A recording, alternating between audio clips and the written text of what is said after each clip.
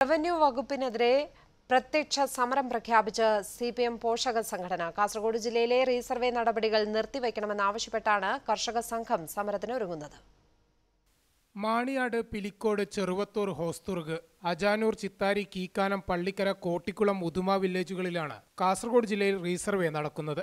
Survey നടപടികൾ തുടങ്ങിയതോടെ ഭൂമി പ്രശ്നങ്ങൾ വർദ്ധിച്ചെന്നും ഇവ പരിഹരിക്കാൻ റവന്യൂ വകുപ്പിനാകുന്നില്ലെന്നുമാണ് പരാതി. വകുപ്പും റീസർവേ വിഭാഗവും കുത്തഴിഞ്ഞു കിടക്കുകയാണെന്നും ആരോപണം. കമ്പ്യൂട്ടറിൽ കയറിയിട്ടില്ല എന്നാണ്. തണ്ടപ്പേര് വന്നിട്ടില്ല എന്നാണ്. അതിന്റെ പേരിൽ നികുതി അടക്കാൻ പറ്റാതെ നികുതി അടച്ചില്ലെങ്കിൽ അവർക്ക് ലോൺ എടുക്കാൻ പറ്റില്ല. പുതിയ ആനുകൂല്യങ്ങൾക്ക് അപേക്ഷിക്കാൻ പറ്റില്ല. ഇരുപത് സെന്റിൽ അടക്കുമ്പോൾ പതിനാറേ ഉള്ളൂ നാല് സെന്റിന് പിന്നെ അതിന് ഒരു പരിഹാരമില്ല എവിടെയാണ് എന്റെ നാല് സെന്റ് അതില്ല. ഈ സർവേക്കുള്ള പരാതി കൊടുക്കാനുള്ളത് പക്ഷേ പരാതിക്ക് ഭൂമിയുടെ എക്സ്റ്റന്റ് അനുസരിച്ച് പൈസ കൊടുക്കണം. ഈ പരാതികൾ ആയിരക്കണക്കിന് കുന്നുകൂടുന്നു ഇത് ഡീൽ ചെയ്യാൻ ആവശ്യമായ ജീവനക്കാരുമില്ല. എല്ലാം കൊണ്ടും പ്രശ്ന സങ്കീർണമാണ് അതുകൊണ്ട് ഞങ്ങൾ പറഞ്ഞത് ഇത് പഴയ നില പുനഃസ്ഥാപിക്കുക.